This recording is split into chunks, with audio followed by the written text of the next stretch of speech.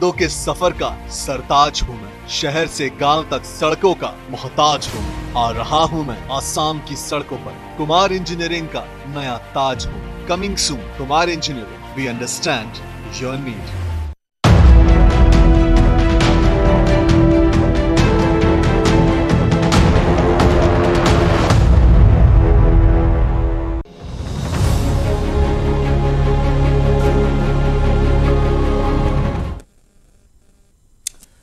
নমস্কাৰ প্ৰিয় দৰ্শক দি প্ৰাইমছলৈ সকলোকে স্বাগতম জনাইছোঁ মই পাৰ্থ বৰা। প্ৰিয় দৰ্শক আমাৰ আজিৰ আলোচনাৰ শীৰ্ষক হৈছে আচল মাটি নকল নথি অৰ্থাৎ ভুৱা মালিক। চৰকাৰে যি প্ৰতিশ্ৰুতি প্ৰদান কৰিছিল ৰাজ্য চৰকাৰে মাটি সম্পত্তিৰ সুৰক্ষা প্ৰদান কৰিবলৈ সেই প্ৰতিশ্ৰুতি পালন কৰাত অতি সম্প্ৰতি ব্যৰ্থ হোৱা পৰিলক্ষিত হৈছে। কাৰণ আপোনাৰ সপোনৰ সেই মাটিডোখৰ আপোনাৰ সপোনৰ মাটিডোখৰ নিমিষতে অন্তৰ্ধান হৈ যাব পাৰে। এনেধৰণৰ এক দালাল চক্ৰ গুৱাহাটী মহানগৰীত সক্ৰিয় দুই এজনক আৰক্ষীয়ে জালত পেলাবলৈ সক্ষম হৈছে। এই চক্ৰত অন্তৰ্ভুক্ত হৈ আছে অধিবক্তা কাননগু উপ পঞ্জীয়কৰ কাৰ্যালয়ৰ বিষয়া চক্ৰ বিষয়াৰ কাৰ্যালয়ৰ বিভিন্ন বিষয়া কৰ্মচাৰী। তেওঁলোকে আপোনাৰ নথি আপোনাৰ নথিত আপোনাৰ চহী জাল কৰি আপোনাৰ মাটিৰ নতুনকৈ নথি প্ৰস্তুত কৰে আৰু নিশাৰ ভিতৰতে সেই নথিৰ যোগেদি আপোনাৰ মাটিকণ আপোনাৰ সপোনৰ মাটিকণক আন এজনলৈ হস্তান্তৰ কৰে বিক্ৰী কৰে আৰু আপুনি যেতিয়ালৈকে অৱগত হ'ব তেতিয়ালৈকে আপোনাৰ সেই মাটিডোখৰ দুই তিনিজন মানুহে বেচা কিনা ইতিমধ্যে ক্ৰয় বিক্ৰয় ইতিমধ্যেই কৰিলে আৰু আপোনাৰ যি সপোন সেই মাটিডোখৰত এটা ঘৰ নিৰ্মাণ কৰাৰ ব্যৱসায়িক প্ৰতিষ্ঠান নিৰ্মাণ কৰাৰ নিমিষতে সেই সপোন চূৰ্ণ বিচূৰ্ণ হৈ যাব। এনেধৰণৰ বাতৰি আহিছে মাটিৰ আচল মালিকৰ হাতত। যিমান নথি আছে মাটিৰ নকল মালিকৰ হাতত তাতোকৈ বেছি নথি আৰু নথিসমূহ এনেধৰণে তেওঁলোকে প্ৰস্তুত কৰিছে। আচল নে নকল ধৰিব পৰাত জটিলতাৰ সৃষ্টি হৈছে। এটা সময়ত আমি শুনিছিলোঁ নব্বৈৰ দশকত তেলগি স্কেম তেলগি নামৰ এজন ব্যক্তিয়ে ষ্টেম্প পেপাৰ জালিয়াতি কৰি হাজাৰ হাজাৰ কোটি টকা তেওঁ হস্তগত কৰিছিল আৰু অসম আৰক্ষীৰ গুৱাহাটীৰ আয়ুক্ত আয়ুক্তগৰাকীয়ে জনোৱা মতে তেওঁলোকে যিমান ধাৰণা কৰিছিল যিমান ডাঙৰ বুলি ভাবিছিল এই কেলেংকাৰী তাতোকৈ বহুত ডাঙৰ। মই পুনৰ কৈছোঁ আপোনাৰ মাটিডোখৰ নিমিষতে অন্তৰ্ধান হৈ যাব পাৰে। চৰকাৰে ডিজিটাইজ কৰিছেহে কৰিছে কিন্তু এই সমস্যাৰ সমাধান হোৱা নাই।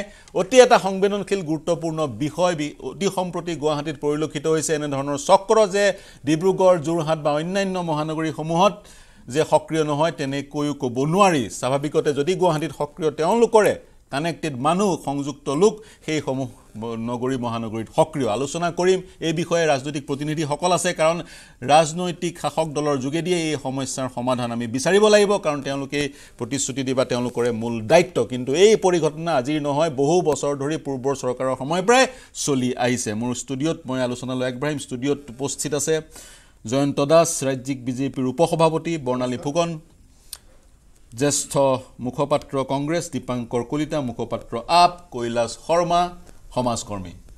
মই কৈলাশ শৰ্মা ডাঙৰী আপোনাৰ পৰা আৰম্ভ কৰোঁ। দীৰ্ঘ আপুনি গুৱাহাটীৰ নিবাসী স্থানীয় নিবাসী দীৰ্ঘদিনে আপোনাৰ চকুৰ সন্মুখত গুৱাহাটীখন ডাঙৰ হৈছে। যিখন গুৱাহাটীত এসময়ত বহুতে কয় সেই গণেশগুৰি অঞ্চলতে বিশাল খালী মাটি আছিলে বা বিভিন্ন কাহিনী গুৱাহাটীত শুনা যায় আজিৰ তাৰিখত।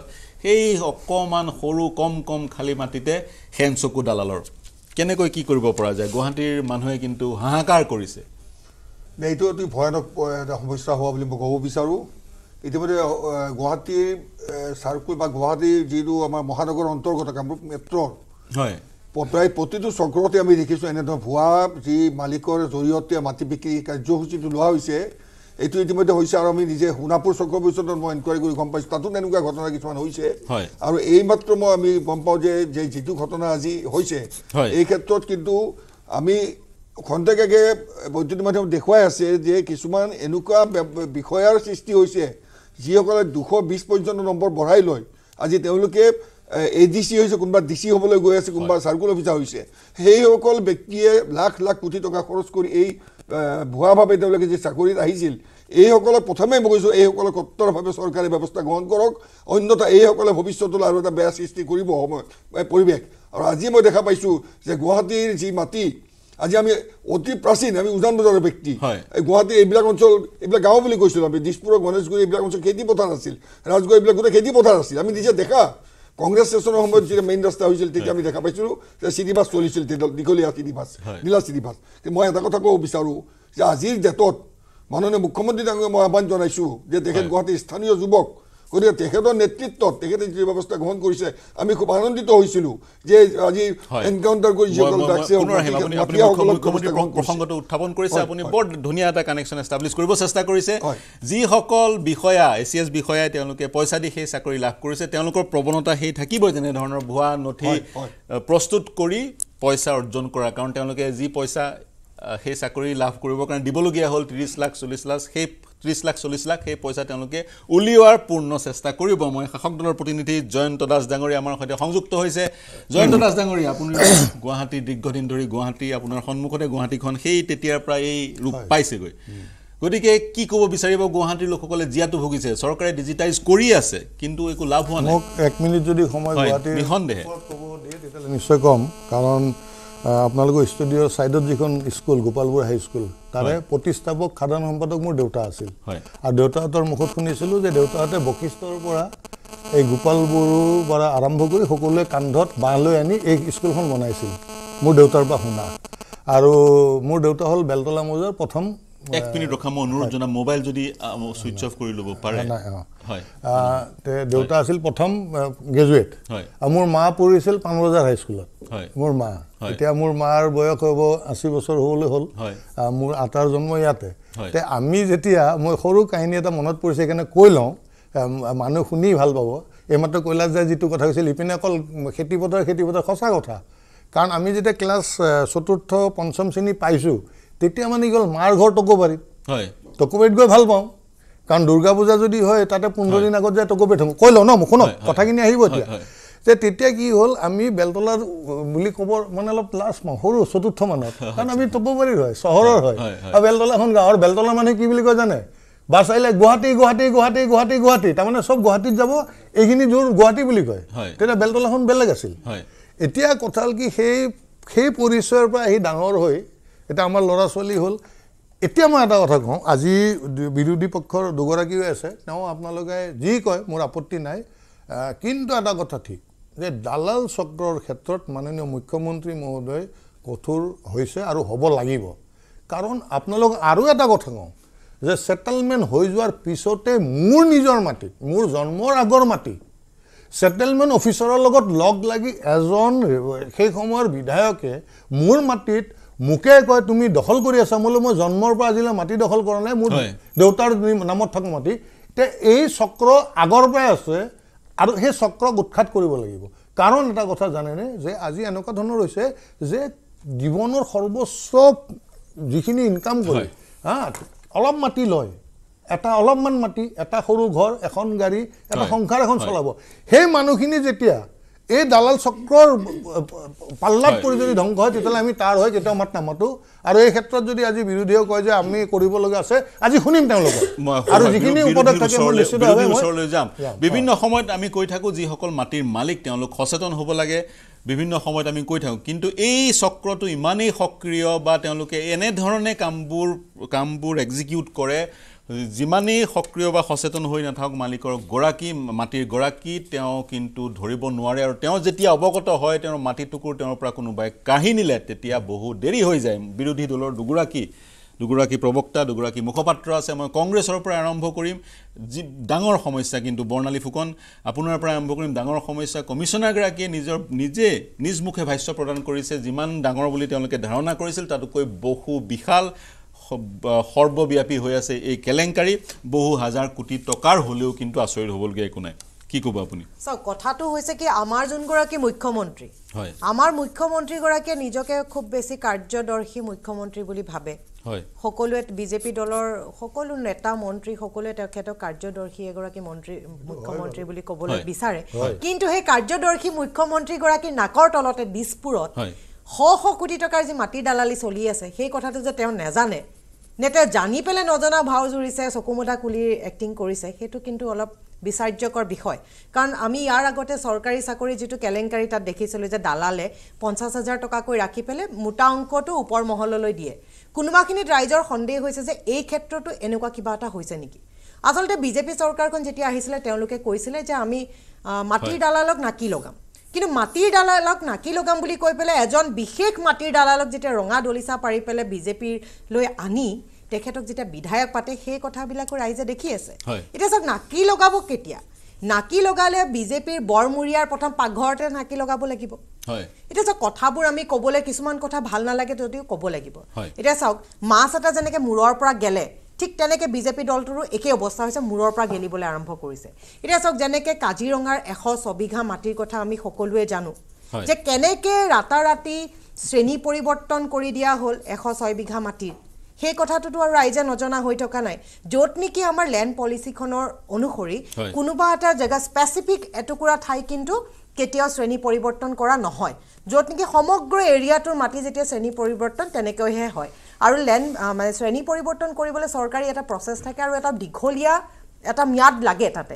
কিন্তু আমাৰ মুখ্যমন্ত্ৰীৰ পত্নীৰ মালিকানাধীন যিটো কোম্পেনীয়ে আপোনাৰ দুহেজাৰ বাইছ চনৰ দুই ফেব্ৰুৱাৰীৰ দিনাখন মাটিখিনি কিনে কিন্তু একে বছৰৰে দুমাহ পিছতে মে' মাহতে সেই মাটিখিনি শ্ৰেণী পৰিৱৰ্তন কৰি কৃষিৰ পৰা ঔদ্যোগিক ভূমিলৈ পৰিৱৰ্তন কৰা হ'ল সেইখিনি। কথা কথাৰ সৈতে আপুনি যথেষ্ট। প্ৰাসংগিক সেইখিনি কথা বিভিন্ন সময়ত আমি আলোচনা কৰিছো গুৱাহাটীলৈ ঘূৰি আহোঁ মানে কৈ পেলাই শেষ। হ'বলৈ দিলে মই। ভাল পাম মোৰ। কথাখিনি মই কেনেকে ৰিলেট কৰিম মই সেইখিনিও ক'ম। যে এতিয়া চাওক দালাল দালালক নাকি লগাব বুলি কোৱাৰ পিছত এতিয়া কেইদিনমান আগত এজন বিখ্যাত দালাল এজনে আজি টেলিভিশ্যনৰ মজিয়াত কৈছিলে সেয়া আমি কোৱা কথা নহয় আমি ক'লে ক'ব যে বিৰোধী কাৰণে। কৈছে। টেলিভিশ্যনৰ মজিয়াত এজন বিখ্যাত মাটিৰ দালালে আহি পেলাই কৈছে যে সৰু পথাৰত মুখ্যমন্ত্ৰী পত্নীয়ে। মাটি কিনোতে মাটিৰ দালালক ব্যৱহাৰ কৰিছে বুলি। সেইবোৰ কথা তেওঁলোকে নৎসাত কৰিব পাৰিব লাগিছিলে। এতিয়া চাওক আমাৰ মুখ্যমন্ত্ৰীগৰাকীয়ে আজি যিবোৰ আমাৰ আইন আছে আমাৰ যোনখন লেণ্ড একৰ্ড আছে সেই লেণ্ড পলিচি আছে সেই পলিচিখনক লৈ বৰ বেছি কঠোৰ হ'বলৈ তেওঁ বিষয়ববীয়াসকলক ক'ব নোৱাৰে কাৰণ তেওঁ যদি বিষয়ববীয়াসকলক ধৰে বিষয়ববীয়াসকলক ফেপেৰি পাতি ধৰিব যে আপোনাৰ ঘৰত কি হৈ আছে আপোনাৰ ক্ষেত্ৰত কি হৈ আছে এতিয়া এটা দুটা এৰেষ্ট কৰিছে হয় সেইটো এৰেষ্ট যে কৰিছে আজি ছমাহ পিছত কিন্তু আপুনিও পাহৰি যাব ময়ো পাহৰি যাম ৰাইজেও পাহৰি যাব কিন্তু আকৌ সেই। মাটিৰ দালালি চলি থাকিব আৰু। বিজেপি চাওক। জাষ্ট এটা কথা ক'বলৈ দিয়ক সহযোগী দল মোক এটা লাইন কমপ্লিট কৰি ল'বলৈ দিয়ক। যে চাওক ডাঙৰীয়া যে এনেকুৱা মাটিৰ দালাল এক বছৰৰ আগতো বহুত গ্ৰেপ্তাৰ হৈছিলে কিন্তু সেই মাটিৰ দালাল কিন্তু আজি কিন্তু মুকলি আকাশৰ তলত হয়, বিচৰণ কৰি আছে হয়, হয়। সেইসকলৰ ওপৰত কি কেছ হ'ল সেইসকলে আমি কেনেকে নাজানো, হয়, মই- conviction মই- মই হ'ল, আহিম। আজিলৈকে মই আহিম, নহ'ল আহিম, কিন্তু। আহিম। স্পষ্ট নহ'ল দুটা এইখিনি দুটা কথা। হয় দুটা মই দালাল শব্দটোৰ ওপৰতো ক'বলগীয়া আছে জয়ন্ত দাস ডাঙৰীয়া মই দীপাংকৰ কলিতাৰ। ওচৰলৈ যাওঁ তাৰপিছত আপোনাৰ ওচৰলৈ যাম আপুনি বৰ্ণালী ফুকনে যিকেইটা কথা ক'লে নিশ্চয় শুনিলে তাৰ প্ৰতিক্ৰিয়া ল'ম দীপাংকৰ কলিতা আপোনাৰ ওচৰলৈ যাওঁ কি প্ৰতিক্ৰিয়া প্ৰকাশ কৰিব। এটা অতি প্ৰাসংগিক কথা উত্থাপন কৰিছে বৰ্ণালী ফুকনে। আজি এবছৰৰ আগতে মাটিৰ দালালক সমগ্ৰ অসমত গ্ৰেপ্তাৰ কৰা হৈছিল শিৰোনাম দখল কৰিছিল। আতি আজিৰ তাৰিখত মই যিমান দূৰলৈকে জানো বহুকেইজন তেওঁলোকৰ অধিকাংশই মুকলি আকাশৰ তলত। গোচৰ চাগৈ চলি আছে কিন্তু তেওঁলোকে চাগে পুনৰ নিজৰ কাম আৰম্ভ কৰিলে। নহয় এই সমস্যাটো আজিৰ সমস্যা নহয় এইটো এটা দীঘলীয়া সমস্যা। আপোনাৰ আজি এই ষ্টুডিঅ'ত অহাৰ আগতে মই নিজে বশিষ্ঠ থানাত বহি আছিলোঁ। আজি তিনিদিন আগত মোৰ হাউকুচিত মোৰ আইতাৰ দিনৰ মাটি দখল কৰি থৈ দিছে। আজি তিনিদিন আগত দখল কৰিছে। মই এই বশিষ্ঠ থানাৰ পৰা আহিছোঁ। সেইটো আজিৰ সমস্যা নহয় আচলতে তাৰ কাৰিকৰী কাৰণসমূহ আছে যথেষ্ট কাৰিকৰী কাৰণ আছে। তাৰমানে তেওঁলোকে কামটো এনেকুৱা কৰে যে তেওঁলোকৰ মিছাকৈ থানাত বা পেপাৰত এডভাৰটাইজ কৰে বা থানাত এটা এজাহাৰ দিয়ে যে তেওঁলোকৰ দলিলখন হেৰাল। হেৰাল, বুলি কৈ তেওঁলোকে যিটো আমাৰ চাব ৰেজিষ্টাৰ অফিচ আছে চাব ৰেজিষ্টাৰ অফিচত যে এখন চাৰ্টিফাইড কপি বনায় চাৰ্টিফাইড কপিখন। হ'ল ভুৱা চাৰ্টিফাইড কপি সেই চাৰ্টিফাইড কপিখনৰ দ্বাৰা মণ্ডলৰ সহযোগত চাৰ্কল অফিচাৰত গৈ নামজাৰি কৰিলোঁ। মোৰ ক্ষেত্ৰত মই নিজে আৰ টি আই কৰি উলিয়াই লৈছোঁ যে চাব ৰেজিষ্টাৰ অফিচত তেনেকুৱা ডিড নম্বৰৰ কোনো দলিলেই নাই। তেওঁলোকে ভুৱা চাৰ্টিফাইড কপি উলিয়াই লৈছে। আৰু এইটো একদম স্পষ্ট। আঠান্নব্বৈ মই চনৰ। আঠান্নব্বৈ চনলৈকে আপোনাৰ কি হৈছিল? আঠান্নব্বৈ চনলৈ দলিলবিলাক নকল লবিছে হাতে লিখি এটা কপি তাত ৰাখি থৈ দিছিল পিছত এইবিলাক স্কেন কৰাৰ প্ৰচেষ্টো তাৰ পিছত আঠান্নব্বৈ চনৰ পিছত দলিলবিলাক ডিজিটাইজ scan কৰিছে। কৰিলে সমস্যা সমাধান নহয় নেকি ওলাই যাব ৱেবছাইটত নহয় তেওঁলোকে কি কৰে পুৰণা দলিল বুলি পুৰণা দলিল বুলি উলিয়াই এই যিবিলাক আগত নকল নকল নবিছে হাতে লিখা দলিল সেইবিলাকৰ তেওঁলোকে চাৰ্টিফাইড কপি উলিয়াই লয়। লৈ পেলাই মণ্ডলৰ সহযোগত নামজাৰি কৰে আৰু তাত এটা কথা আছে দুহেজাৰ সাত চনত হাইকোৰ্টৰ এটা অৰ্ডাৰ হ'ল যে মাটি বিক্ৰী কৰাৰ কাৰণে যিখন এন অ' চি আমাৰ উপায়ুক্তৰ পৰা ল'ব লাগে সেইখনৰ কোনো দৰকাৰ নাই বুলি হাইকোৰ্টৰ পৰা এটা অৰ্ডাৰ হ'ল। অৰ্ডাৰ হোৱাৰ পিছত দুহেজাৰ সাত আঠ চনত উইদাউট এন অ' চি অনুমতি যিটো দিয়ে আমাৰ মাটি বিক্ৰীৰ অনুমতি উপায়ুক্তৰ পৰা নোলোৱাকৈ যাকে তাকে মাটিৰ মালিক বনায় সেই। দুটা বছৰত অজস্ৰ দলিল বনালে দলিল কিমান বনালে তাৰ হিচাপ নাছিল। সেই সময়ত অসম চৰকাৰে এখন এই হাইকোৰ্টৰ অৰ্ডাৰৰ ওপৰত আচলতে তেওঁলোকে অধ্যাদেশ জাৰি কৰিব লাগিছিল। অধ্যাদেশ জাৰি কৰা তেওঁলোকৰ পল- পলম হ'ল দুহেজাৰ ন চনত Assam land amendment two thousand nine আহিল যেতিয়া ভূমিধৰ বৰ্মন প্ৰয়াত তেখেতৰ নেতৃত্বত এইখন আহিল। তাৰপিছত আকৌ চৰকাৰে ৰুল কৰিলে যে মাটি বিক্ৰী কৰিব লাগিলে আপোনাৰ হেৰি লাগিব উপায়ুক্তৰ আপত্তিবিহীন প্ৰমাণ পত্ৰ লাগিব। সেই দুটা বছৰৰ ভিতৰত তেনেকৈ বহুত তেওঁলোকে দলিল বনাই পেলালে। আৰু এতিয়া লেটেষ্ট আমাৰ চৰকাৰখনৰ এটা ডিচিশ্যন হ'ল কি আমাৰ বৰ্তমান চৰকাৰখনে এটা কেবিনেটত এটা সিদ্ধান্ত ল'লে যে ফ্লেট বিক্ৰী কৰাৰ কাৰণে কোনো অনুমতি ল'ব নালাগে। যদি ফ্লেট হয় তেতিয়া ফ্লেট হ'লে অনুমতি ল'ব ডিচিৰ যিটো এন অ' চি সেইটো ল'ব নালাগে। সেইটো আমাৰ কেবিনেটত এই এই চৰকাৰখনৰ দিনৰ কেবিনেটত ডিচিশ্যন হ'ল। তাৰ ফলত হ'ল কি বহুত জেগাত য'ত ঘৰ আছে ঘৰ থকা মানুহে ঘৰ দেখুৱাই পেলাই ঘৰ থকা দেখুৱাই পেলাইও উইদাউট এন অ' চি চেলডিত বনোৱা কাম আৰম্ভ কৰিলে। এই যে নিতুল দাসক গ্ৰেপ্তাৰ কৰিলে এই চাব ৰেজিষ্টাৰ অফিচত গোটেই এটা চক্ৰ। আছে। আৰু মই নাম নকওঁ এজন চাব ৰেজিষ্টাৰ আজি কেইমাহমান আগত ইয়াৰ পৰা ট্ৰান্সফাৰ হৈ গ'ল। তেওঁতো উইদাউট এন অ' চি বহুকেইখন দলিল কৰা বুলি আমাৰ হাতত একেবাৰে চব মানুহৰ মুখে মুখে বিশেষকৈ এডভকেট যিবিলাক তেওঁলোকৰ লগত এটাচ হৈ থাকে তেওঁলোকৰ মুখে মুখে এইটো কথা যে without N O' C D চিৰ পাৰ্মিশ্যন নোহোৱাকৈ তেওঁ এই চাব ৰেজিষ্টাৰজনে বনাই আছে। এতিয়া। ইয়াত এটা ডাঙৰ চক্ৰ জড়িত হৈ আছে য'ত মণ্ডল আছে য'ত আমাৰ এই চাৰ্কল অধিবক্তা। অফিচৰ যিবিলাক আপোনাৰ অধিবক্তাটো আছেই চাৰ্কল অফিচৰ যিবিলাক আমাৰ ডি টি পি অপাৰেটৰ যিবিলাকে নাম এণ্ট্ৰি কৰে কম্পিউটাৰত। তেওঁলোক আছে আৰু চাব ৰেজিষ্টাৰ অফিচৰ মানুহ জড়িত আছে, আছে ডাঙৰ চক্ৰ আছে ডাঙৰ চক্ৰ এটা আছে আৰু। এই চক্ৰটো থকাৰ কাৰণে এতিয়া কথা হ'ল চৰকাৰে ইয়াৰ ক্ষেত্ৰত যিখিনি ডিচিশ্যন ল'ব লগা আছিল চৰকাৰে কি ব্যৱস্থা গ্ৰহণ কৰিব কি ব্যৱস্থা গ্ৰহণ কৰে এইটো লক্ষণীয় হ'ব? মুখ্যমন্ত্ৰীয়ে আগতে যিহেতু? তেখেতে হিচাপে? নিশ্চয় পৰৱৰ্তী পৰ্যায়ত মই সুযোগ পালে এই কথাখিনি কম। হয় পৰৱৰ্তী পৰ্যায়ত সুযোগ পালে পৰামৰ্শ কি কেনেকৈ প্ৰতিহত কৰিব লাগে দ্বিতীয়টো ৰাউণ্ডত দ্বিতীয়টো খণ্ডত আপুনি সেই বিষয়ে আলোচনা কৰিম। এতিয়া প্ৰত্যুত্তৰ লওঁ। প্ৰথমতেই মই জয়ন্ত দাস আপোনাৰ ওচৰলৈ যাওঁ তাৰপিছত মই কৈলাশ শৰ্মা ডাঙৰীৰ ওচৰলৈ আহিম। দুটা পাৰ্চপেক্টিভ দুটা দৃষ্টিভংগী দাঙি ধৰিলে বিৰোধীৰ দুজন মুখপাত্ৰই। বৰ্ণালী ফুকনে যিখিনি মন্তব্য কৰিলে তাৰ প্ৰত্যুত্তৰ আপুনি কেনেদৰে দিয়ে নাই বৰ্ণালী ফুকন ডাঙৰীয়ানী যিটো কথা ক'লে শ্ৰেণীগত পৰিৱৰ্তন হয়। এইটো চৰকাৰৰ বিষয় হয়। চৰকাৰৰ যদি সেইখিনি ক্ৰাইটেৰিয়া ফুলফিল হৈছে হ'ব পাৰে নাজানো। সেইটোত মই এক্সপাৰ্ট কমেণ্ট দি লাভ নাই। এতিয়া মই আপোনালোকক আচলতে মই এটা কথা আজি সুবিধা পাইছোঁ আপুনি সুবিধা দিছে মই ক'ম দালাল আৰু ভয়ংকৰভাৱে ক্ৰিমিনেল এটিটিউড থকা অফিচাৰ আৰু কাৰ্যকৰ্তা। এই দুটা কিন্তু বেলেগ। দালাল সাধাৰণতে আমাক দালালক লাগে। কিয় লাগে জানে? আপোনাৰ মোৰ সময় নাথাকে কেতিয়াবা আমি এশ দুশ টকা দি হ'লেও তেওঁৰ পৰা গোটেইখিনি সুবিধা। হয়। কিন্তু আমাৰ এনেকুৱা হৈ গ'ল মাটিৰ দালাল। আৰু এইবিলাক আগতে মাটিৰ দালালটো সহজ সৰল মানুহ আছিল।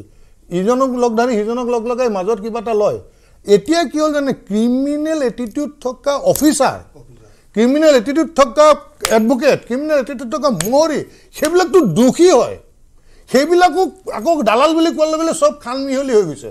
সেইকাৰণে আমাৰ কনচেপ্টটো ক্লিয়াৰ কৰিব লাগে। এক যি দোষী সি দোষী আৰু মই চৰকাৰী হেৰি দলৰ এজন প্ৰবক্তা হিচাপে উপসভাপতি হিচাপে মই আজি ক'ম যে নিশ্চিতভাৱে মই মাননীয় মুখ্যমন্ত্ৰী মোৰ বিশ্বাস আছে তেওঁৰ ওপৰত তেওঁ পাৰিব আৰু তেওঁক তথাপিও মই দৃষ্টি আকৰ্ষণ কৰিম যে ইমানখিনি মই মতালি হ'ব নালাগে। কাৰণ কাৰণ এটা কথা মই জানো যে বহুত দহতলীয়া বিছতলীয়া বিল্ডিঙৰ মালিকৰ কথা বেলেগ। একদম জীৱনভৰ চাকৰি কৰি সৰু দোকান এখন আৰে মাটিখিনিও। যদি যায় এই দালালৰ নাম দালাল বুলি মই ক'ব টান পাওঁ আচলতে। দালাল বুলি সৰুৰ পৰা যিখিনি শুনি আছোঁ দেই অসমৰ আমাৰ কৈলাশ দাই ক'ব অসমৰ গুৱাহাটীৰ আটাইতকৈ এষ্টাব্লিছ যিজন দালাল বুলি কয় সেইজন কিন্তু সন্মানীয় মানুহ। হয়। কিন্তু আজি যিবিলাক কৰি আছে নহয় চুৰ সেইবিলাক লম্পট দগাবাজ বদমাছ হয়। ক্ৰিমিনেল হয় সিহঁত। অল আৰ ক্ৰিমিনেল সেই উত্তৰ- অফিচাৰ বিলাক উত্তৰ ক্ৰিমিনেল সেই উত্তৰ- অফিচাৰ বিলাক ক্ৰিমিনেল ন শুনক সেই অফিচাৰ বিলাক অফিচাৰৰ ওপৰত থকা সেই মহলখিনি অফিচাৰৰ লগত কথা পাতি থকাখিনি। ডাঙৰীয়া আপুনি শাসক দলৰ আপুনি শাসক হয়। দলৰ হ'লেও মই আপোনাক প্ৰথমে এষাৰ কথা কৈছিলোঁ নহয়। অৱশ্যে মোৰ মাটিৰ গণ্ডগোল হওঁতে কিন্তু কংগ্ৰেছৰ শাসনত হৈছিল। কংগ্ৰেছৰ মই কৈছো পূৰ্বৰ পৰাই হৈ আছিলে। কিন্তু আমি কি বিচাৰিছো নহয় আমি সংবিধান আপোনাৰ পৰা বিচাৰিম। হয়।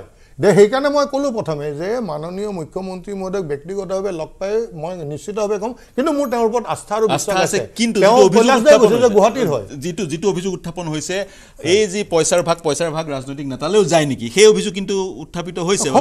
নিশ্চিত শুনক। এনেকুৱা ধৰণৰ কথা যে যেতিয়াই এনেকুৱা ধৰণৰ কোনোবাই কৰে এতিয়া যিসকলক এৰেষ্ট কৰিছে তেওঁলোকে এষ্টাব্লিছ কৰিব পৰা নাই যে তেওঁলোকৰ ভাগ ক'ৰবাত ওপৰত যায়। কিন্তু যেনেকৈ নহওক যেনেকে নহওক চৰকাৰ যিহেতু আমাৰ আছে দায়িত্ব আমাৰ। দায়িত্ব আমাৰ।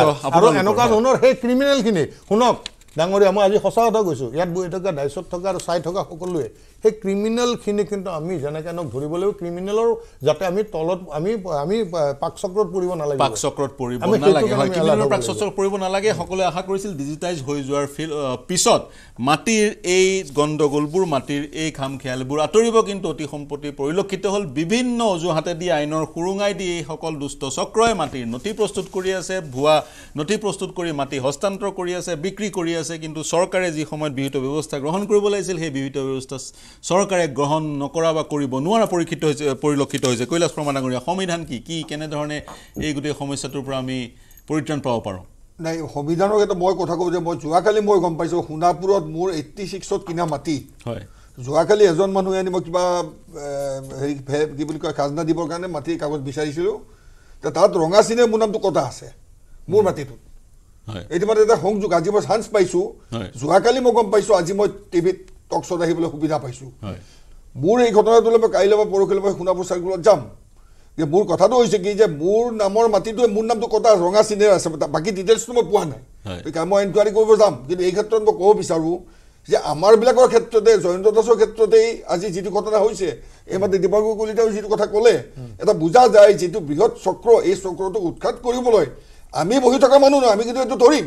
যি লেভেললৈ যাব লাগে আমি ধৰিম। কিন্তু এই ক্ষেত্ৰত মই এটা কথাই কওঁ যে যিসকল বিষয়া অধিবক্তা আৰু ভুৱা যিসকল মণ্ডল কানুন যিটো কৰিছে তেওঁলোকৰ বিহিত ব্যৱস্থা ওলোৱাৰ আমি কিন্তু আগবাঢ়ি গৈ থাকিম আৰু চৰকাৰক আহ্বান জনাইছোঁ মুখ্যমন্ত্ৰী ডাঙৰীয়াক যে তেখেতে বিশেষ এক মিনিট ক'ব লাগিব কিয়।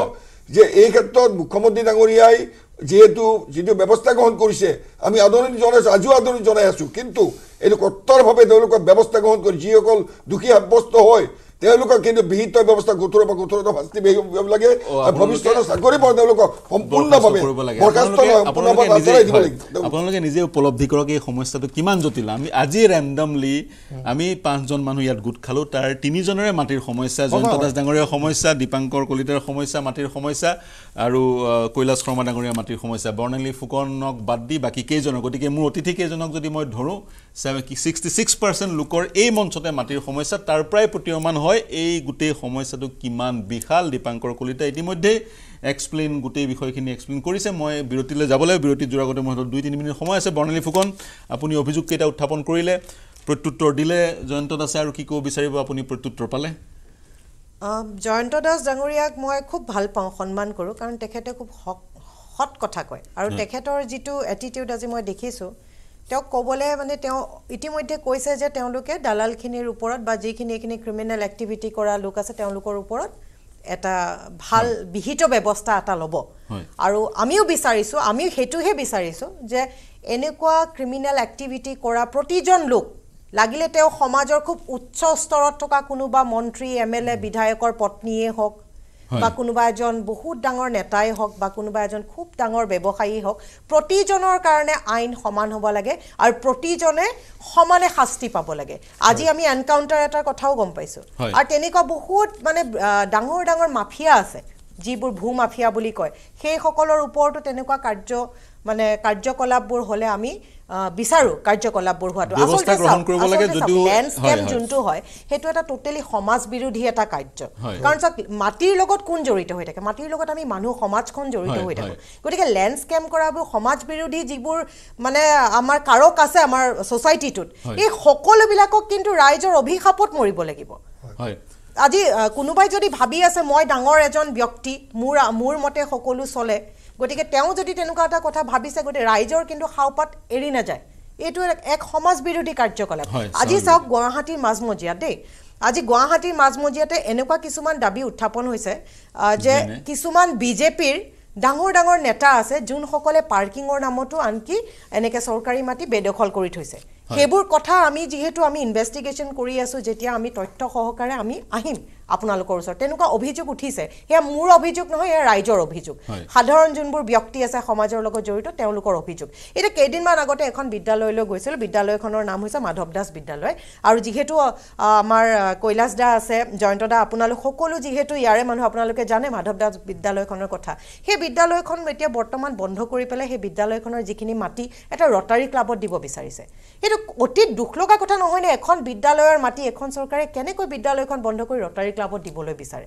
আৰু তাতোতকৈ আৰু এটা ডাঙৰ কথা উলুবাৰীত এখন জনজাতীয় বিদ্যালয় আছে। সেই জনজাতীয় বিদ্যালয়খনৰ যিবোৰ মাটি এগৰাকী বিজেপিৰ মানে বিধায়কে সেই মাটিখিনি বেদখল কৰি পেলাই তাতে পাৰ্টি অফিচ খোলাৰ চিন্তা চৰ্চা কৰিছিলে যা যোগাৰ ইতিমধ্যে কৰিছিলে এতিয়া আমাৰ কংগ্ৰেছ দলৰ বহু কৰ্মী লগতে আমাৰ মহিলা। কংগ্ৰেছৰ নেত্ৰী মীৰা বৰঠাকুৰ ডাঙৰীয়ানীও গৈ তাতে কথা বতৰা পাতি ভালকৈ আপোনাৰ বেদখলখিনি আহ, বেদখল ক- আহ, কাৰীৰ লগত কথা পাতি পেলাই আলোচনাৰ মাধ্যমেৰে বা আৰু বিভিন্ন কাৰকেৰে সহায়ত আমি সেই। মাটিখিনি বেদখল কৰাত। হয় বেদখল কৰাত আমি এতিয়া সফল হৈছোঁ। হয় কথাটো। হৈছে কি আমি সমাপ্ত সাধাৰণ মানুহ যেনেকে আজি দীপাংকৰ কলিতায়ো ক'লে যে আকৌ কৈলাশ দাৰো যেনেকে মাটিৰ লগত খেলি মেলি হৈছে বা মোৰো আছে কোনোবাখিনিত সেইটো মই বৰ্তমান ক'ব বিচৰা নাই যিহেতু গুৱাহাটীৰ মাজমজিয়াৰ নহয় হয়। গতিকে সেইবোৰ সময় সাপেক্ষে আমি কাম কৰি যাম আমি বিচাৰিছোঁ যে আমাৰ যোনখিনি ৰাইজে আজি ইমান ডাঙৰ ডাঙৰ মুধা ফুটা নেতাৰ লগতে যদি এনেকুৱা ঘটনা হয় সাধাৰণ ৰাইজৰ লগত কেনেকুৱা ঘটনা হ'ব? ডাঙৰ। প্ৰশ্ন। আমি সংবিধান বা ইয়াৰ পৰা পৰিত্ৰাণ পাবই লাগিব। মই পুনৰ পুনৰ আহিম। পাব আপুনি। আৰু এটা দৃষ্টিভংগী প্ৰদান কৰিছে শাসক দলৰ নেতাই সেই ধৰণে তেনেধৰণে য'ত স্কুল আছিলে বা য'ত অন্য প্ৰতিষ্ঠানসমূহ আছিল সেই প্ৰতিষ্ঠানসমূহ আঁতৰাই কাৰ্যালয় বা ব্যৱসায়িক প্ৰতিষ্ঠান গঢ়িবলৈ চেষ্টা কৰিছে। তেওঁলোকৰ এই কাৰ্যত এই কাৰ্যত নথিৰ খেলি মেলি বা নথিৰ গণ্ডগোল নাথাকিলেও এই কাৰ্য সমাজ বিৰোধী বুলি আপুনি আখ্যা দিব বিচাৰিছে। বিভিন্ন গুৱাহাটীত বিভিন্ন ঘটনা ঘটি আছে। আজি এটা বাতৰি শিৰোনাম দখল কৰিছে। ফেঞ্চি বজাৰৰ ফেঞ্চি বজাৰ স্থানান্তৰ কৰি দিয়া হ'ব ক'লৈ লৈ যোৱা হ'ব উত্তৰ গুৱাহাটীলৈ। ইয়াৰ প্ৰয়োজনীয়তা কি সেয়াও এক আলোচনাৰ বিষয়। কিন্তু মূল বিষয়টো হৈছে মাটি। মাটিক লৈ যি ধৰণে কেলেংকাৰী পোহৰলৈ আহিছে সেই কেলেংকাৰী কিন্তু যথেষ্ট বিশাল। আলোচনা কৰিম ইয়াৰ পৰিত্ৰাণ কি কিদৰে পাব পাৰি শীঘ্ৰে ঘূৰি আহিম এটা বিৰতি লৈছোঁ। সাধাৰণ ষ্টীল এনেকৈ পৰে। মাইথন ষ্টীল এনেকৈ পৰে। ধমকৈ।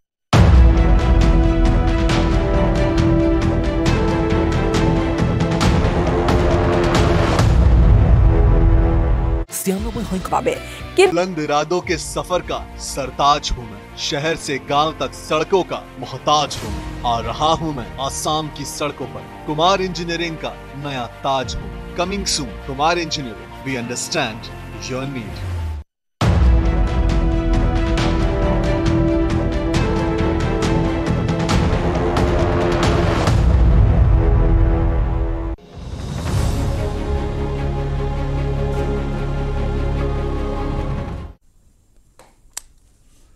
নমস্কাৰ প্ৰিয় দৰ্শক দ্বিতীয়টো খণ্ডত উপনীত হৈছোঁ। পৰিত্ৰাণৰ উপায় কেনেকৈ পাব পাৰি সেই সন্দৰ্ভত আলোচনা কৰিম। শিপাইছে বৰ ভয়ংকৰ ৰূপত যাৰ ভুক্তভোগী হৈছে মূলতঃ গুৱাহাটীবাসী। আৰু এই চক্ৰ যে নিশ্চয়তা নাই।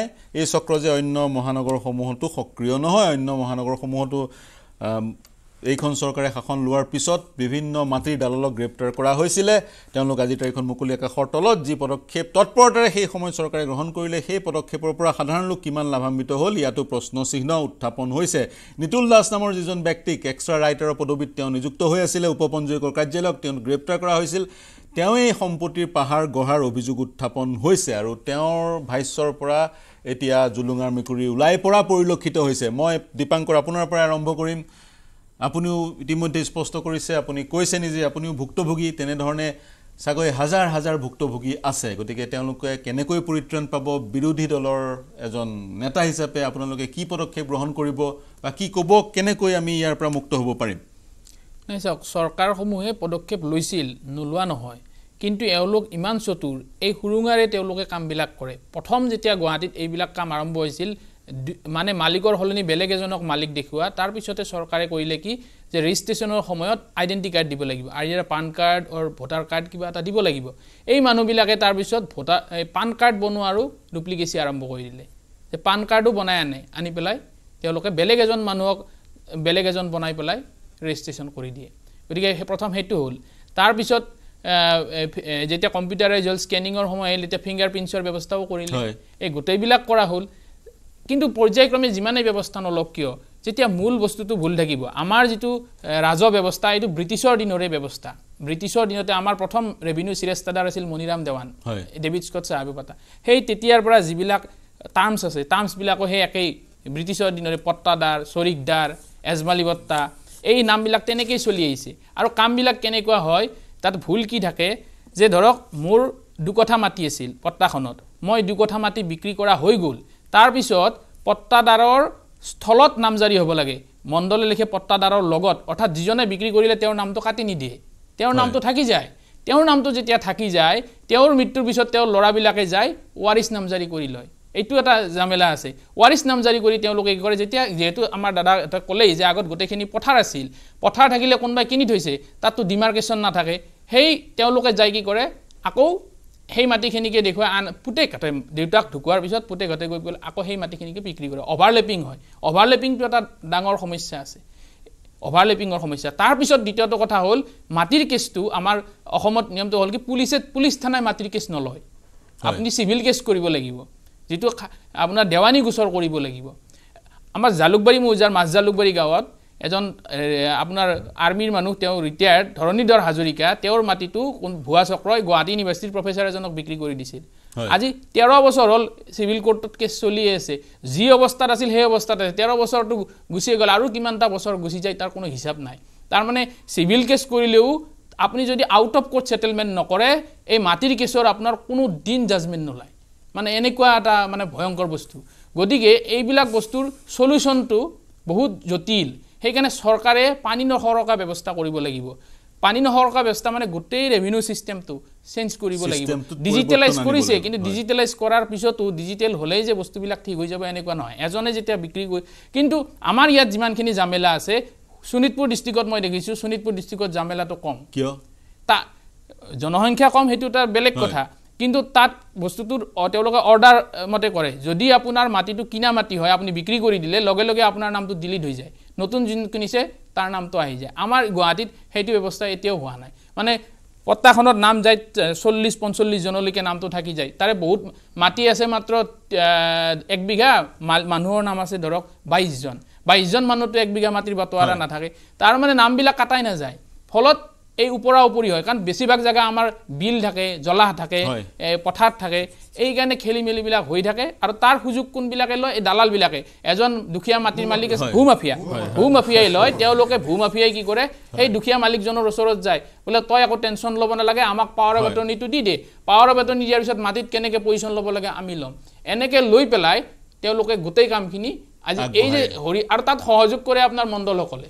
কাৰণ মণ্ডলসকলৰ অংকল অতি সোনকালে তেওঁলোকে টকা আহৰণ কৰি আজি যিজন আপুনি কৈছে এই কনিষ্ঠ সহায়কৰ নাম তেওঁ দুহেজাৰ আঠ চনত চাকৰিত জইন। কৰিছিল। তেৰ চনত গুৱাহাটীত আহিছিল। এতিয়া খুদ আমাৰ আৰক্ষী আয়ুক্তৰ চকু কপালত উঠি গৈছে তেওঁৰ সম্পত্তি দেখি। তেওঁৰ সম্পত্তি দেখি গতিকে আৰক্ষী আয়ুক্তৰ যদি চকু কপালত উঠিছে এজন কনিষ্ঠ সহায়কৰ সম্পত্তি দেখি তাৰপিছত আপুনি অনুমান কৰিব যে তেওঁলোকে এই- চাব ৰেজিষ্টাৰ অফিচত তেওঁলোকে দিনত দিনত মিনিমাম পঞ্চাছ এটা কালেক্ট কৰে। এজন নিম্ন সহায়কে হয়। নিম্ন সহায়কে প্ৰতিদিনে পঞ্চাছ হাজাৰ টকা হাজাৰটো তেওঁলোকে দিনত পঞ্চাছ হাজাৰ টকা অতি কমেও সংগ্ৰহ কৰে অৰ্থাৎ দুৰ্নীতি ভয়ংকৰ ৰূপত দুৰ্নীতিয়ে শিপাইছে। মই এতিয়া শাসক দলৰ প্ৰতিনিধিগৰাকীৰ পৰা প্ৰত্যুত্তৰ বিচাৰিম। ভয়ংকৰ ৰূপত এই বিশেষ খণ্ডটোত দুৰ্নীতিয়ে শিপাইছে। গতিকে এই দুৰ্নীতি বন্ধ কৰিবলৈ বা আপোনালোকে যি দুৰ্নীতি বিৰোধী শ্লোগান দিয়ে সেয়া অসাৰ বা আপোনালোকে যি সকাহ দিম বা মাটি ভেটি বেয়া বাৰু আন আপোনালোকে উল্লেখ কৰিছিল সুৰ- ৰক্ষা কৰিব বুলি কিন্তু আপোনালোকে সাধাৰণ ব্যক্তি এজনৰ মাটিকণ তেওঁৰ নিজৰ মাটিকণ সপোনৰ মাটিকণকে আপুনি আপোনালোকে সুৰক্ষা প্ৰদান কৰিব পৰা নাই। দীপাংকৰ কলিতাই গোটেই ছিষ্টেমটোত গাফিলতি আছে বুলি এক মন্তব্য কৰিছে। কিন্তু আমি ইয়াৰ সমাধান উলিয়াব লাগিব পৰিত্ৰাণ পাব লাগিব বা ৰাইজে ইয়াৰ পৰা পৰিত্ৰাণ পাব লাগিব। কেনেদৰে পাব? ডিজিটাইজ কৰিও সফল হোৱা নাই। নহয় চাওক মই প্ৰথমেই কৈছোঁ যে আজি বিৰোধীয়ে যি কয় আমি শুনিম। আৰু মোৰ ভাল লাগিছে। যে দীপাংকৰ ডাঙৰীয়াই যিখিনি কথা কৈছে যে সঁচাই মানে কৰি আহি আছে তথাপিও তাৰমানে তাৰ মাজতো সুৰুঙা ওলায় মই প্ৰথমে কৈছোঁ যে ক্ৰিমিনেল এটিটিউড যিসকলৰ আছে সেইসকল ভূ মাফিয়া দালাল নহয় তেওঁলোক ভূ মাফিয়া ভূ মাফিয়া এজন মণ্ডলো হ'ব পাৰে ভূ মাফিয়া এজন গৈ মাটিত দাদাগিৰি কৰি মাটি দখল কৰা এজনো হ'ব পাৰে ভূ মাফিয়া ওপৰত বহি চহী কৰা এজন অফিচাৰো হ'ব পাৰে। চব ভূ মাফিয়া আৰু এইটো এটা সম্পূৰ্ণ এডাল চেইন এনেকুৱা নহয় যে ইয়াত কেৱল মাত্ৰ মোৰ গাত জোৰ আছে মোৰ মন আছে মই জাকে জাকে যাই মাৰিব পাৰোঁ মাটি যাই দখল কৰিম আৰু যদি মই কাৰ লগত ফিটিং নোহোৱাকৈ মাটি দখল কৰোঁ মোৰ গাৰ জোৰ ক'ৰবাত যাব মোক তাতে তাৰ পৰা পুলিচে উঠাই আনি মোক সোমাই থ'ব শুনক। তাৰমানে তাৰমানে মোৰ ক'ৰবাত ছেটিং আছে ফিটিং আছে। এই ছেটিং ফিটিংটো পুলিচৰ পৰা মণ্ডলৰ পৰা একদম যোন অফিচাৰৰ ওপৰলৈ চহী কৰে চবৰে ছেটিং ফিটিং আছে। আৰু সেইখিনি মই কৈছোঁ যে মাননীয় মুখ্যমন্ত্ৰী মহোদয়ে বহুত কাঢ়া হৈছে আৰু কাঢ়া হ'ব আৰু মই জানো মই ব্যক্তিগতভাৱে তেওঁক ক'ম আৰু আমি মই ক'লোতো মই ভুক্তভোগী। ভুক্তভোগী হয়। মই ভুক্তভোগী। আৰু এনেকুৱা ধৰণৰ ভুক্তভোগী শুনকচোন ছেটেলমেণ্ট চলি আছিল তেতিয়া। ছেটেলমেণ্ট শুনক নহয় কি কি সুৰুঙাখিনি কৈ আছোঁ। ছেটেলমেণ্ট চলি আছিল আমাৰ ঘৰলৈ নটিচ দিছে। আমি কিন্তু যালৈ নটিচ দিছে আমি নটিচ নাপালোঁ। এবাৰ দিলে দুবাৰ দিলে তিনিবাৰ দিলে জয়ন্ত দাসৰ ঘৰ বা মোৰ মাৰ ঘৰ অসমৰ চবেই চিনি পায় বেলতলা লক্ষী মন্দিৰত সেই ছেটেলমেণ্ট অফিচাৰৰ কিন্তু অফিচাৰে চিনি নাপালে। তাৰ পৰা ন শুনক। এই যে মানে মই সুৰুঙাবিলাক কৈছো ভুল বাৰ্তা যাব মানে ভুল বাৰ্তা যাব। শাসক তাৰ পৰা কি হ'ল? বিজেপিৰ ৰাজ্যিক উপ সভাপতি গৰাকী যদি এনেদৰে ভুক্তভোগী সাধাৰণ ৰাইজৰ কি হ'ব? সেইকাৰণে কৈ আছো। সাধাৰণ ৰাইজৰ কি হ'ব? সেইকাৰণে মই কৈ আছো হয়, যে সেই বাৰ্তা সঁচা আপুনি দি কথা আছে, হয়। কোৱাৰ সাহস লাগিব আৰু মই কৈছো যে সেইখিনি সময়ত ছেটেলমেণ্ট চলি থাকোঁতে কংগ্ৰেছৰ চৰকাৰ আছিল তাৰ পিছত আমাৰ চৰকাৰ আহি এইবিলাক গোটেই কৰাৰ পিছতো এতিয়া ফিংগাৰ প্ৰিণ্ট লগাৰ পিছতো দুই নম্বৰ চলি আছে। তাৰমানে আমি চৰকাৰ হিচাপে কৰিবলগীয়া আছে। আৰু সেই। কৰিবলগীয়া আছে আৰু সেইখিনি মই মানে আমাৰ চৰকাৰৰ ওপৰত বিশ্বাস আছে আস্থা আছে এইখিনি আমি কৰি অন্ততঃ সেই ভুক্তভোগী মানুহখিনি সকাহ দিব পৰা ভুক্তভোগী। মানুহখিনি সকাহ দিব পৰা যিকেইটা সমস্যা আছে দীপাংকৰ কলিতাই বিশ্লেষণ কৰিছে সুন্দৰকৈ আদালতত যি দেৱানী গোচৰ চলি থাকে গোচৰত বিলম্ব হয় গোচৰৰ শুনানি বহু দেৰিকৈ গোচৰৰ শুনানিত পলম হয় বা গোচৰৰ যি ৰায় সেই ৰায় বহু ক্ষেত্ৰত পোৱাই নাযায় বিভিন্ন ক্ষেত্ৰত যিহেতু civil case out of court settlement হয়। গতিকে এনেবোৰ সমস্যাও আছে কিন্তু প্ৰথম আৰু প্ৰধান প্ৰশ্নটো গোটেই ব্যৱস্থাবোৰ ডিজিটাইজ ডিজিটাইজ হোৱাই হোৱাৰ পিছত চৰকাৰে সমগ্ৰ নাগৰিকৰ বায়'মেট্ৰিক ডেটা সংগ্ৰহ কৰাৰ পিছত প্ৰতিটো কামৰ কাৰণে সেইসমূহ যি বায়'মেট্ৰিক তথ্যসমূহ চৰকাৰী প্ৰতিষ্ঠানে গ্ৰহণ কৰাৰ পিছত কেনেকৈ এনেবোৰ কাৰ্য হ'বলৈ পায়। চেইনৰ কথা কৈছে জয়ন্ত দাসে সেই চেইনৰ শীৰ্ষত কোন আছে? শাসক দলৰ নেতাও সেই চেইনডালৰ শীৰ্ষত বহি আছে নেকি? গতিকে যদিহে বহি আছে তেওঁৰ বিৰুদ্ধে ব্যৱস্থা গ্ৰহণ কৰিব পৰা যাবনে নাই সেয়াও কিন্তু প্ৰশ্ন জয়ন্ত দাস ডাঙৰীয়া। সেয়াও সেয়াও ডাঙৰ প্ৰশ্ন। মই এতিয়া কৈলাশ শৰ্মা ডাঙৰীয়া আপোনাৰ ওচৰলৈ আহিম তাৰপিছত মই বৰ্ণালী ফুকন আপোনাৰ ওচৰলৈ যাম। কৈলাশ শৰ্মা ডাঙৰীয়া আপুনি সকলোৰে বক্তব্য শুনিলে দীপাংকৰ কলিতাই বিশ্লেষণ কৰিলে কেনেকৈ হয় আপুনি সংবিধান বা আপুনি বিভিন্ন সময়ত জড়িত হৈ থাকে গুৱাহাটীৰ বিষয়সমূহত দাবী উত্থাপন কৰিছে। পৰিত্ৰাণ সমাধান ক'ত? পৰিত্ৰাণ সমাধান এইটোৱে হ'ব যে যিসকল বিষয়া ইয়াৰ লগত যি চেইন ছিষ্টেমত লাগি আছে হয়। ডেপুটি কমিশ্যনাৰ মানে আজি ডিষ্ট্ৰিক্ট কমিশ্যনাৰে হওক হয়। অতিৰিক্ত আয়ুক্তই হওক জিলাৰ চাৰ্কুল অফিচাৰে হওক বা যিসকল মণ্ডল কাননগো বা মহৰী ইয়াত জড়িত বা এডভকেট হয়। এই লাইনটোত জড়িত হৈ আছে। তেওঁলোকৰ সম্পূৰ্ণ নথি পত্ৰ কালেক্ট কৰক আৰু এই যি বিগত দহটা বছৰৰ ভিতৰত বা পাঁচটা বছৰৰ ভিতৰত যিটো যিটো যিটো অফিচৰ পৰা এই ঘটনাবিলাক হৈছে সেইসকলক কলফৰ কৰি তেওঁলোকে ইমিডিয়েট একশ্যন ল'ব লাগে আৰু তেওঁলোকৰ সম্পত্তি পৰ্যন্ত দৰকাৰ কৰিব লাগে। আৰু মই আৰু এটা কথা ক'ব বিচাৰিছোঁ যে আজিৰ সময়ত মই এটা কথা ক'ব যে আমি এনেকুৱা অফিচাৰ লগ পাইছিলোঁ। আজি ভাস্কৰ বৰুৱা ডাঙৰীয়া আছিলে আজি মদন প্ৰসাদ বেজবৰুৱা নীলিময় চৌধুৰী উপেন্দ্ৰ নাথ ভূঞা ডাঙৰীয়া এনেকুৱা অফিচাৰ পাইছোঁ যিসকলে ফ্ৰেণ্ডলি আছিলে ৰাইজৰ সমস্যালৈ আগবাঢ়ি গৈছিল। এতিয়া যিসকল চিভিল ছাৰ্ভিচৰ মানুহ আছে প্ৰায় কি নব্বৈ শতাংশ দহ শতাংশ এতিয়াও ভাল আছে বহুত বেয়া বুলি নকওঁ। প্ৰায় নব্বৈ শতাংশই অতি আণ্ডাৰ কোৱালিফাইড পাৰ্চন যিসকলে পইচা পাতি দি পইচা পাতি। চাৰ্টিফিকেট লৈ লৈ এ পি এছ চিৰ পৰা। সেইসকলক কোৰ্টত এনেকুৱা ব্যৱস্থা গ্ৰহণ কৰিব লাগে যাতে তেওঁলোকে ভৱিষ্যতে এইসকল অফিচাৰকতো বা- বাহিৰ কৰি দিব লাগেই। কিন্তু কট্টৰভাৱে যিসকলে সম্পত্তি শোষণ কৰিছে সেইবোৰ চৰকাৰে হয়। ক্ৰুক কৰি সেইবিলাক লৈ আনিব লাগে। কৈলাশ শৰ্মা ডাঙৰীয়া বিভিন্ন সময়ত দেখা পোৱা যায় তেওঁলোকৰ সাহস নাই। এই নিতুল দাস নামৰ যিজন ব্যক্তি সেই ব্যক্তিজনক কোনো ধৰণৰ নিৰ্দেশ দিয়াৰ পৰা বিৰত থাকে সেই চক্ৰ বিষয়া বা আন আন নহয়, বিষয়াসকলে নহয়, তেওঁক ভয় কৰে। সেই চক্ৰ বিষয়াৰ ওপৰত একশ্যন ল'ব লাগে। যিগৰাকী চক্ৰ বিষয়াটো কৰিব পৰা নাই তেওঁ চাকৰিৰ পৰা তেওঁক বৰ্খাস্ত কৰিব লাগে। আৰু আইনগতভাৱে আইনৰ গণ্ডিত ৰাখি এনেধৰণৰ বিহিত ব্যৱস্থা গ্ৰহণ কৰক যাতে তেওঁৰ চাকৰিটো যাবই তাৰ ভৱিষ্যতে আহিবলগীয়া যিসকল বিষয়া থাকে তেওঁলোকে এইটো কৰিব সাহস নকৰে এইটো ভাৱে মই পুনৰ অসম চৰকাৰক মই আহ্বান জনাইছোঁ মাননীয় মুখ্যমন্ত্ৰীক আহ্বান জনাইছোঁ অতি শীঘ্ৰে ব্যৱস্থা গ্ৰহণ কৰক আমাৰ দৰে মানুহে ভুক্তভোগী হ'ব আগবাঢ়িছোঁ গতিকে এইটো ক্ষেত্ৰত খুব। ভাল লক্ষণ নহয় আমি প্ৰাচীন ব্যক্তিসকল যিহেতু ভুক্তভোগী হওঁ তেতিয়া কিন্তু পৰিৱেশ ভাল হৈ নাথাকিব একে মই আপোনাক অনুৰোধ কৰিছোঁ। আপুনি এই বিষয়ে ব্যৱস্থা গ্ৰহণ কৰি আৰু যিসকল বিষয়ে এইটো কৰিছে মাতাই আনি প্ৰতিটো চক্ৰ বিষয়াসকলৰ ভিতৰত তেওঁলোকৰ ব্যৱস্থা গ্ৰহণ কৰাৰ বাবে আপুনি গোটেই সমগ্ৰ শীঘ্ৰে বিষয়টো ব্যৱস্থা গ্ৰহণ কৰক মই গোটেই ধন্যবাদ বিষয়টো যথেষ্ট জটিল গোটেই সমগ্ৰ বিষয়টো আপুনি বিষয়াসকলে ঠেল দিছে যিসকল নতুনকৈ বিষয়া নিয়োজিত হৈছে নতুন বিষয়া চাকৰি পাইছে তেওঁলোক সময়ৰ দক্ষ নহয়, আৰু বিভিন্ন সময়ত দুৰ্নীতি আশ্ৰ- তেওঁলোকে দুৰ্নীতি আশ্ৰয় লয় দুৰ্নীতি কৰে। ঘূৰি পকি ঘূৰি পকি সেই একেটাই কথা আহি পৰে দুৰ্নীতি প্ৰতিৰোধ কৰাত চৰকাৰ ব্যৰ্থ হৈছে সেই বিষয়টোৱে আহি পৰে। মই বৰ্ণালী ফুকন আপোনাৰ পৰা মন্তব্য ল'ম। চাওক বিভিন্ন সময়ত আমি চৰকাৰখনক দেখা পাওঁ যে কিছুমান লেণ্ড ৰিজাৰ্ভেশ্যন এক্ট আনিছে। কিন্তু তাৰ পিছতো জালিয়াতি শেষ হোৱা নাই আচলতে কোনোবাখিনিত এনেকুৱা লাগে চৰকাৰখনৰ সদিচ্ছাৰ অভাৱ। আজি যেতিয়া আমি এইবোৰ ভূ মাফিয়াৰ কথা পাতি আছোঁ দালাল ৰাজৰ কথা পাতি আছোঁ আজি কিন্তু এখন বাতৰি কাকতৰ সংবাদ পেপাৰ মানে মাধ্যমৰ শিৰোনামা দখল কৰিছে এটা বিশেষ এটা বাতৰিয়ে। আপোনাৰ তিনিচুকীয়াৰ। কুণ্ডিল কলীয়া ৰিজাৰ্ভ যোনখন ফৰেষ্ট সেই ফৰেষ্টখনৰ আপোনাৰ সাত হাজাৰ হেক্টৰ মাটি ইতিমধ্যে পাঁচ হাজাৰ তাৰে অৰুণাচলে দখল কৰিছে আৰু। যি দুহেজাৰ বিঘা আছে তাতে দুহেজাৰ হেক্টৰ মাটি আছে। সেইখিনিত আপোনাৰ অবাধে কাঠ মাফিয়াই তাতে লুণ্ঠন কৰি গৈছে। সেইবোৰ কথা কিন্তু চৰকাৰখন আজি নিমাত হৈ আছে। আমি যিহেতু বিচাৰিছোঁ যে এইবোৰ ভূ মাফিয়া ৰাজ শেষ হওক আমি লগতে এইখিনিও বিচাৰিছোঁ যে বহিৰাজ্যই যেনেকৈ অসমৰ যিবোৰ মাটি আজি হস্তক্ষেপ কৰি আছে বেদখল কৰি আছে সেইখিনিও সেইখিনি উদ্ধাৰৰ কাৰণে চৰকাৰখনে কি ব্যৱস্থা লৈছে? বিভিন্ন সময়ত চৰকাৰখনক এনেকুৱা ধৰণৰ মন্তব্য কৰা দেখা যায় চৰকাৰৰ গৰাকীজন মুখ্যমন্ত্ৰীক যে অলপ দিন আগতে তেখেতে কৈছিলে যদি দিল্লীয়ে কৈ দিয়া নলবাৰী গুৱাহাটী চব আমি বহিৰাজ্যক দিবলৈ ৰেডি হৈ আছোঁ গতিকে। তেনেকুৱা ধৰণৰ মন্তব্যবিলাক যেতিয়া কৰে তেতিয়া আমাৰ ৰাইজ কি হয় চৰকাৰখনৰ সদিচ্ছাখনৰ ওপৰত প্ৰশ্ন উঠি আহে কাৰণ আজি চাওক আজি কিছুমান এপ লঞ্চ কৰিছে হয় বসুন্ধৰাকে আদি কৰি বিভিন্ন। এপ লঞ্চ কৰিছে কিন্তু চৰকাৰখনৰ যিবোৰ কাৰ্যকলাপ যেনেকৈ আপোনাৰ যিবোৰ আমাৰ লেণ্ড পলিচিখনকে নৎসাত কৰি মুখ্যমন্ত্ৰী একেবাৰে পৰিবাৰে যেনেকুৱা ধৰণৰ আপোনাৰ কেলেংকাৰী কৰিছে সেইবোৰ দেখি এনেকুৱা লাগিছে যে কোনোবাখিনিত এইবোৰ এপবোৰৰ জৰিয়তে কাৰ ক'ত কিমান মাটি আছে সেইবোৰ চাই পেলাই যে তেওঁলোকে কেৱল আপোনাৰ বহিৰাগত যিবোৰ বনিয়া সেইবিলাকক আনি পেলাই কমিশ্যনৰ লাভালাভৰ অংকত তেওঁলোকে আমাৰ যিবোৰ মাটি আছে সেইবোৰ কেনেবাকৈ হস্ত হস্তাগত কৰিব বিচাৰিছে এনেকুৱা ধৰণৰ এটা ভাৱধাৰাও ৰাইজৰ মাজত নুঠা নহয়। কাৰণ তেওঁলোকে আজি আজি বেদখল কৰিছে কিছুমান কিছুমান জেগাত। আমাৰ খিলঞ্জীয়া বহু লোককো। বেদখল কৰিছে। কিন্তু বহু এনেকুৱা কৰ্পৰেট গোষ্ঠী আছে। বহু এনেকুৱা কোম্পানী অ'নাৰ আছে যিসকলে। মাটিৰ হস্তগত কৰি থৈছে বেদখল কৰি থৈছে। কিন্তু সেইবোৰ বেদখলৰ কথা আজিলৈকে চিন্তা কৰা নাই।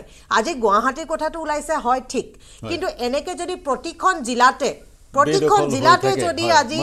আপোনাৰ হয় প্ৰতিখন জিলাতে যদি আজি ইনভেষ্টিগেশ্যন দিয়ে প্ৰতিখন জিলাৰ পৰা কিন্তু শ শ হাজাৰ হাজাৰ কোটি টকাৰ এনেকুৱা কেলেংকাৰী ওলাই আহিব। কিন্তু আমি বিচাৰিছোঁ যে পুলিচক এই ইনভেষ্টিগেশ্যন নিদি পেলাই এগৰাকী ৰিটায়াৰ্ড জাজক দি পেলাই যদি এনেকুৱা ইনভেষ্টিগেশ্যন কৰে একেবাৰে সঁচা কথাটো ওলাই যোগেদি ইনভেষ্টিগেশ্যন দিয়াটো দিয়াৰ আপুনি পোষকতা কৰিছে কিন্তু চাগৈ ডাঙৰ এখন কমিটি গঠন কৰিব লাগিব। জিলাভিত্তিক প্ৰতিখন জিলাতে তেনেধৰণৰ কমিটি গঠন কৰিলে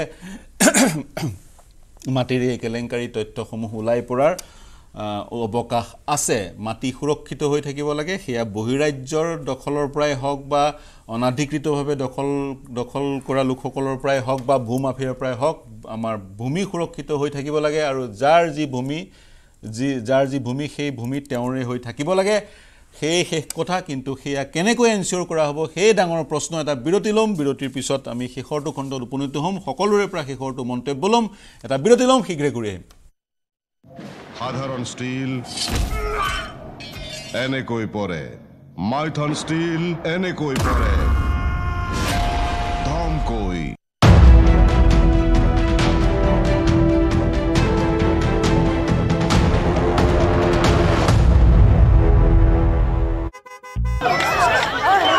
इस सफ़र का सरताज हूँ मैं। शहर से गाँव तक सड़कों का मोहताज हूँ आ रहा हूँ मैं आसाम की सड़कों पर। कुमार इंजीनियरिंग का नया ताज हूँ। Coming soon, Kumar engineering. We understand your need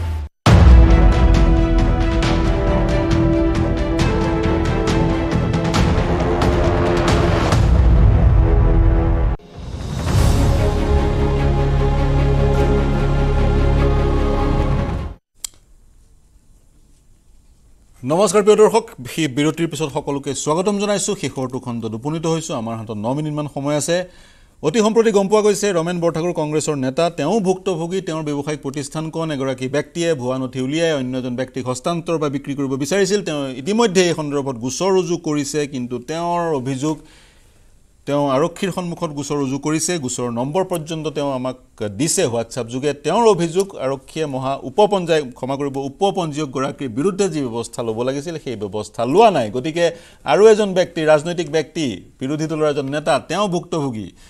ষ্টুডিঅ'ত বহি থকা শাসক দলৰ প্ৰতিনিধি ভুক্তভোগী ইয়াৰ পৰাই প্ৰতীয়মান হয় এই সমস্যা কিমান ব্যাপক বা কিমান সৰ্বব্যাপী।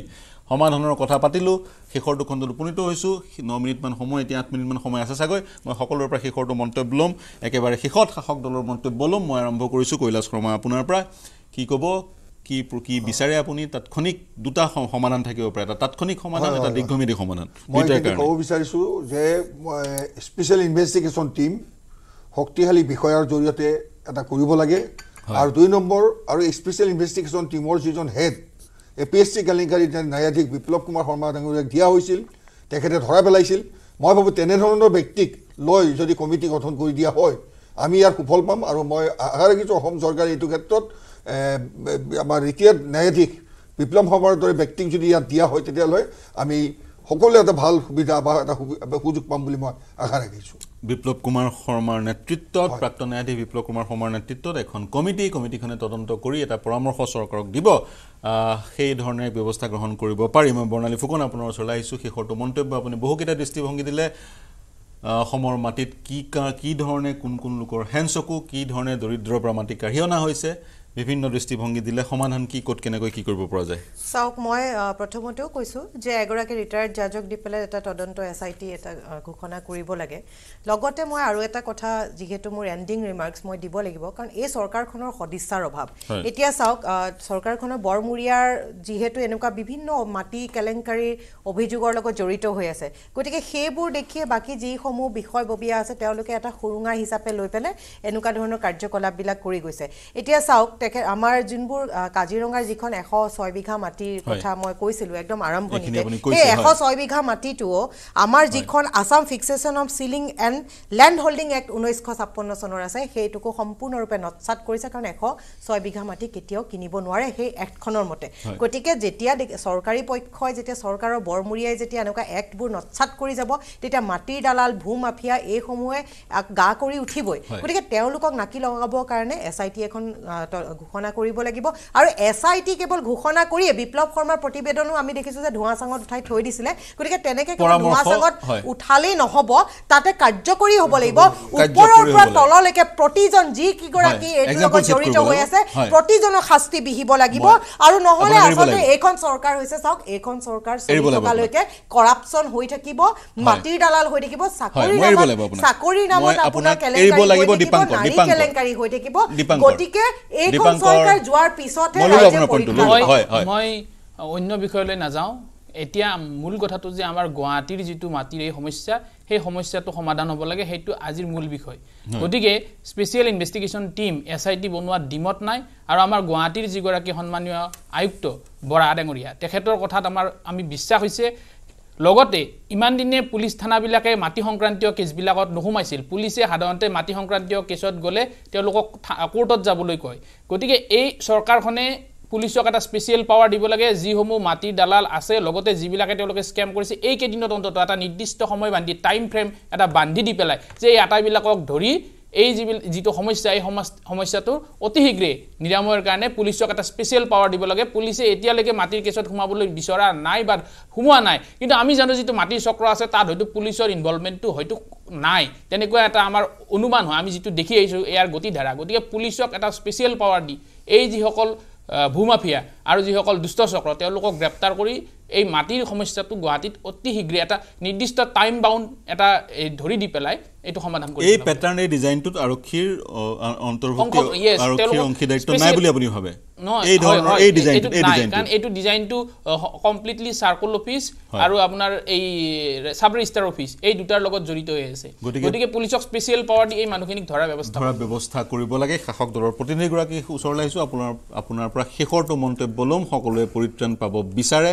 আৰু এটা দৃষ্টান্তমূলক ব্যৱস্থা গ্ৰহণ কৰাৰ পোষকতা বিভিন্নজনে কৰিছে। যিমানেই ডাঙৰ ব্যক্তি নহওক যদি জড়িত হৈ আছে তেওঁৰ বিৰুদ্ধে ব্যৱস্থা গ্ৰহণ কৰিলেহে এই গোটেই বিষয়টো পৰিষ্কাৰ হ'ব। চাওক আমি চৰকাৰত আছোঁ যিহেতু আমাৰ দায়িত্বও বেছি। চৰকাৰত থকা মানে অভিভাৱক। হয়। আৰু অভিভাৱকৰ পৰা বিচাৰিবই যে আমাক এইখিনি লাগে এইখিনি ন্যায় লাগিব। আৰু সেই বিচৰাটো আমি নিশ্চিতভাৱে পূৰণ কৰিব লাগিব। মোৰ মানে নিশ্চিতভাৱে মাননীয় মুখ্যমন্ত্ৰীৰ ওপৰত মোৰ এইখিনি আস্থা আৰু বিশ্বাস আছে তেখেতে। কৰিব। যিটো এছ আই টিৰ কথা কৈছে স্পেচিয়েল ইনভেষ্টিগেশ্যন টীম সঁচাকৈ প্ৰয়োজন আছে। আৰু এটা কথা ঠিক যে অসুবিধাটো ক'ত জানে নাজানে যে এই যি ভূ মাফিয়া এওঁলোক গোটেইখিনি মানে তেওঁলোকে ট্ৰেইন আপ কিন্তু যাৰ দখল কৰে বা যাৰ ভুক্তভোগী তেওঁলোকৰ এইবিলাক ট্ৰেইনিং লৈ থকা নহয় তাৰমানে সহজ সৰল। অৰ্থাৎ আপুনি সচেতন হ'ব লাগে বুলি কৈছে সচেতন? হ'ব লাগিব মানে সচেতন হ'বই লাগিব। সচেতন হ'ব লাগিব। আৰু সচেতন হ'ব লাগিব আৰু এই- সেই সচেতন হোৱাৰ লগে লগে মানে এই যি পাক চক্ৰত পৰি মই উপলব্ধি কৰিছোঁ কৈছোঁ মই মই কাকো ইয়াত ক্ৰিটিচাইজ কৰিব অহা নাই মই কৈছোঁ নহয় ছেটেলমেণ্ট অফিচ চলি থকাৰ মুহূৰ্তত এজন বিধায়কে মোক মোৰ জন্মৰ আগৰ মাটি দেউতাৰ নামত থকা মাটি। ক'বই লাগিব। সেই সময়ত কয় যে তুমি দখল কৰি আছা বোলো মই জীৱনত মাটি দখল কৰা কাম কৰা নাই। তে তাৰ মানে সেই বিধায়কজনে কাৰ লগত কথা পাতিছিল সেই সময়ত? ছেটেলমেণ্ট অফিচাৰৰ লগত? ছেটেলমেণ্ট অফিচাৰ কোন আছিল? এই কথাবিলাকৰ কাৰণে এছ আই টি লাগে স্পেচিয়েল ইনভেষ্টিগেটিভ টিম লাগে আৰু আমাৰ কৈলাশ দাই কোৱাৰ নিচিনা বিপ্লৱ শৰ্মাৰ নিচিনা বা যাৰ কোনো ধৰণৰ কেতিয়াও কোনো অভিযোগ নাই যাৰ। বিৰুদ্ধে তেনেকুৱা এজন নিট এণ্ড ক্লিন মানুহ এজন লাগে আৰু মই বিশ্বাস কৰোঁ মাননীয় মুখ্যমন্ত্ৰীয়ে এনেধৰণৰ পদক্ষেপ ল'ব পদক্ষেপ। মুঠৰ ওপৰত সকলোৱে পৰিত্ৰাণ পাব লাগে এখন কমিটি গঠন কৰিব লাগে প্ৰাক্তন ন্যায়াধীশৰ যোগেদি তেওঁ এই সমস্যা সমাধানৰ পৰামৰ্শ দিব প্ৰথম কথা আৰু দ্বিতীয় কথা এখন এছ আই টি যি এছ আই টিয়ে এক্সিকিউট কৰিব যিসকল জড়িত ব্যক্তি কাৰ্যকৰী কৰিব যিসকল এই গোটেই কেলেংকাৰীটোত জড়িত হৈ আছে তেওঁলোকৰ বিৰুদ্ধে ব্যৱস্থা গ্ৰহণ কৰিব। সেই এছ আই টিখনৰ মুৰব্বী পুলিচ কমিশ্যনাৰ হ'ব পাৰে বা অন্য শীৰ্ষ বিষয়া হ'ব পাৰে বিশেষকৈ পুলিচ বিষয়া হ'লে ভাল বুলি দীপাংকৰ কলিতাই কৈছে। আৰু ইয়াৰ মাটিৰ লগত জড়িত যিমানবোৰ কেলেংকাৰী হৈ আছে। সেই সকলোবোৰ কেলেংকাৰী বন্ধ কৰিব লাগে তেতিয়াহে অসমৰ ৰাইজে পৰিত্ৰাণ পাব। এই মঞ্চৰ পৰাই এই বাৰ্তা আজি দৰ্শকক দৰ্শকলৈ প্ৰেৰণ কৰিলোঁ। মোৰ সৈতে সংযুক্ত হোৱাৰ কাৰণে জয়ন্ত দাস দীপাংকৰ কলিতা বৰ্ণালী ফুকন আৰু কৈলাশ শৰ্মা চাৰিওগৰাকীকে ধন্যবাদ জ্ঞাপন কৰিছোঁ। প্ৰিয় দৰ্শক শুভৰাত্ৰি। সাধাৰণ ষ্টীল এনেকৈ পৰে। মাইথন ষ্টীল এনেকৈ পৰে। ধমকৈ।